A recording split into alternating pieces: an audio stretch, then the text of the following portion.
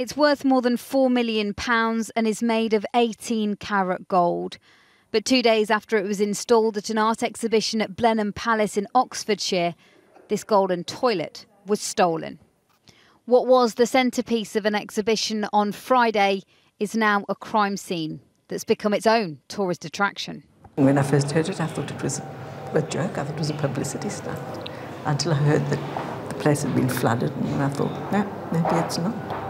I have never heard of this toilet. I didn't know it existed, but I think it's absolutely in- incredible that they came in. I'm sort of wondering if it was just a prank.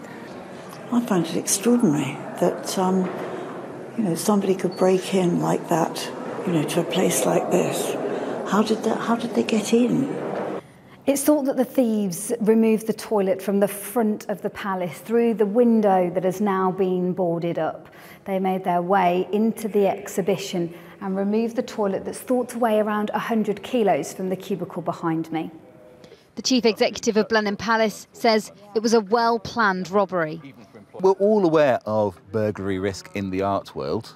Uh, it has not happened here in living memory. I really could not tell you when it last happened here, and that's because our security systems are pretty good.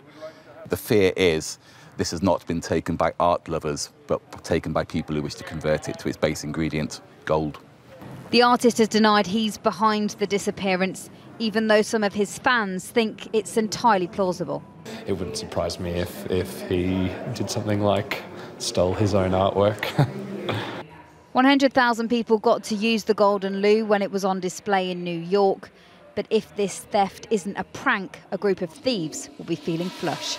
Stacey Foster, ITV News, Oxfordshire.